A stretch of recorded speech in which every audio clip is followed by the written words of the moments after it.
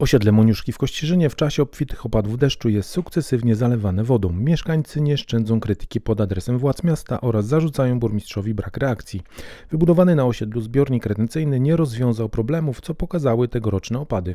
Miasto tłumaczy się, że problem zniknie dopiero w momencie wybudowania dużego zbiornika przy ulicy Wojska Polskiego, który według założeń ma przyjąć całość wód opadowych z tego terenu.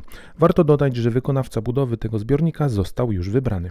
Natomiast rozpoczęte właśnie prace modernizacyjne na osiedlu Moniuszki są kolejnym etapem, który oprócz estetyki ma doprowadzić do rozwiązania problemu zalewania tego osiedla. W ramach tej inwestycji e, zostanie zmodernizowany około 1 km drogi, 480-metrowy odcinek ulicy Moniuszki, e, około 100-metrowe odcinki ulicy Małcurzyńskiego i Piechowskiego oraz około 300-metrowy odcinek ulicy Skłodowskiej.